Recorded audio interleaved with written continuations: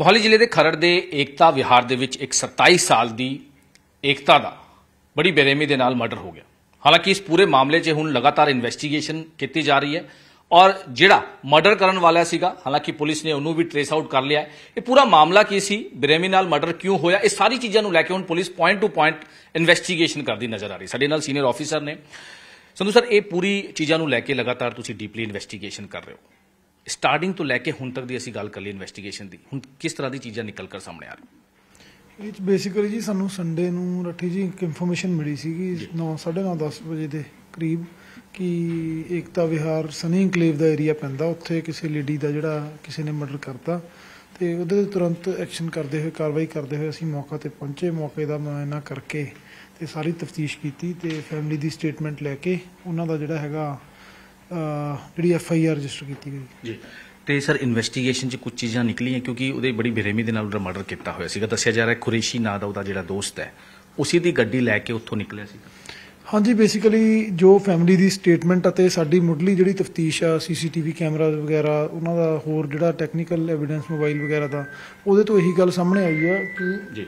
ਇਹ ਬੇਸਿਕਲੀ ਉਸ ਦਿਨ ਸੰਡੇ ਨੂੰ ਸਵੇਰ ਕਰੀਬ ਮਤਲਬ ਸੈਟਰਡੇ ਤੇ ਸੰਡੇ ਦੀ ਇੰਟਰਵੀਨਿੰਗ ਨਾਈਟ ਜਿਹੜੀ ਆ।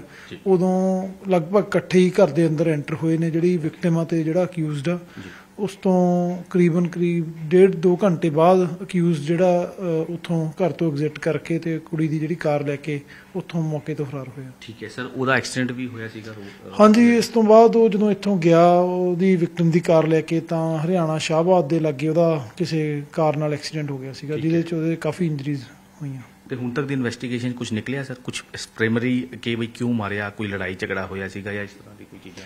ਹਾਂਜੀ ਬੇਸਿਕਲੀ ਜੋ ਸਾਨੂੰ ਫੈਮਿਲੀ ਤੋਂ ਪਤਾ ਲੱਗਿਆ ਤੇ ਸਾਡੀ ਤਫਤੀਸ਼ ਦੇ ਮੁਤਾਬਕ ਇਹੀ ਲੱਗਿਆ ਕਿ ਇਹ 2 ਸਾਲ ਤੋਂ ਕਰੀਬ ਅਕਿਊਜ਼ ਤੇ ਵਿਕਟਿਮ ਇੱਕ ਦੂਜੇ ਨੂੰ ਜਾਣਦੇ ਸੀਗੇ.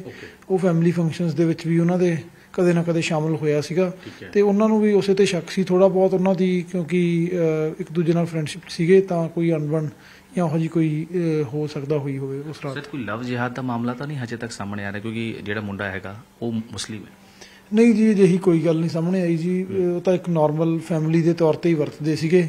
ਫੈਮਿਲੀ 'ਚ ਹੀ ਆਉਣੀ ਜਾਣੀ ਸੀਗੀ ਮੁੰਡੇ ਦੀ ਤਾਂ ਅਜਿਹਾ ਕੋਈ ਐਂਗਲ ਨਹੀਂ ਸਾਹਮਣੇ ਆਇਆ। ਤੇ ਸਰ ਇਹ ਵੀ ਦੱਸਿਆ ਜਾ ਰਿਹਾ ਹੈ ਕਿ ਉਹਦੇ ਭਰਾ ਦੇ ਕੱਪੜੇ ਚੇਂਜ ਕਰਕੇ ਉਸੇ ਦੀ ਗੱਡੀ ਲੈ ਕੇ ਉੱਥੋਂ ਫਰਾਰ ਹੋ ਜਾਂਦਾ ਹੈ। ਕੁਝ ਹੁਣ ਤੱਕ ਦੀ ਇਨਵੈਸਟੀਗੇਸ਼ਨ 'ਚ ਕੁਝ ਆਇਆ? ਹਾਂਜੀ ਮੈਂ ਜਿਵੇਂ ਦੱਸਿਆ ਕਿ ਉਸ ਲੜਕੀ ਜਿਹੜੀ ਕਾਰ ਤੇ ਆਪਣੇ ਘਰ ਆਈ ਸੀਗੀ ਉਸ ਰਾਤ ਨੂੰ ਉਹ ਸੇਮ ਕਾਰ ਤੇ ਹੀ ਉਹ ਬੰਦਾ ਜਿਹੜਾ ਫਰਾਰ ਹੋਇਆ। ਠੀਕ ਹੈ। ਸਰ ਇਹ ਜਿਹੜਾ ਬੈਕਗ੍ਰਾਉਂਡ ਕੀ ਹੈ ਜਿਹੜਾ ਮੁੰਡਾ ਜਿਹੜਾ ਹੁਣ ਹਸਪੀਟਲ ਐਡਮਿਟ ਹੈ?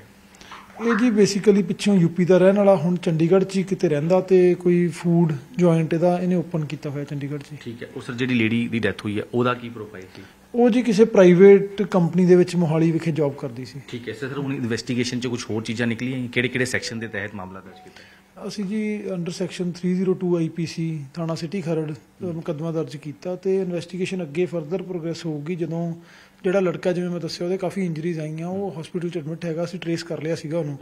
ਤੇ ਉੱਥੇ ਜਦੋਂ ਉਹਨੂੰ ਫਾਰਮਲੀ ਅਸੀਂ ਅਰੈਸਟ ਕਰ ਲਿਆ ਆਫਟਰ ਹੀ ਰਿਕਵਰਸ ਜਦੋਂ ਉਹਨੇ ਕੌਨਸ਼ੀਅਸਨੈਸ ਗੇਨ ਕਰ ਲਈ ਉਹਦੀ ਕੁਐਸਚਨਿੰਗ ਤੋਂ ਬਾਅਦ ਫਿਰ ਪਤਾ ਲੱਗੇਗਾ ਕਿ ਐਗਜ਼ੈਕਟ ਜਿਹੜਾ ਮੋਟਿਵ ਆਫ ਕ੍ਰਾਈਮ ਕੀ ਸੀਗਾ ਸੰਧੂ ਸਾਹਿਬ ਕਿਉਂਕਿ ਤੁਸੀਂ ਲਗਾਤਾਰ ਡੀਪਲੀ ਇਨਵੈਸਟੀਗੇਸ਼ਨ ਕਰ ਰਹੇ ਹੋ ਉਹਦੇ ਸ਼ਾਰਪ ਵੈਪਨ ਦੇ ਨਾਲ ਜਿਹੜਾ ਹੈਗਾ ਕਿੱਥੇ ਕਿੱਥੇ ਵਾਰ ਕੀਤੇ ਗਏ ਸੀ ਜਿਹੜੀ ਪ੍ਰਾਇਮਰੀ ਹਾਂਜੀ ਪ੍ਰਾਇਮਰੀ ਜੋ ਬਾਡੀ ਤੋਂ ਤੇ ਜੋ ਡਾਕਟਰ ਨੇ ਮੁਆਇਨਾ ਕੀਤਾ ਉਹਦੇ ਤੋਂ ਨੈਕ ਤੇ ਜਿਹੜੀ ਇਹ ਸ਼ਾਰਪ ਐਜਡ ਵੈਪਨ ਦੇ ਨਾਲ ਰਾਈਟ ਸਾਈਡ ਆਫ ਨੈਕ। ਉਹਦੇ ਕਰਕੇ ਉਹਦੀ ਜਿਹੜੀ ਹੈ ਮੌਤ ਹੋਈ ਹੈ। ਠੀਕ ਹੈ।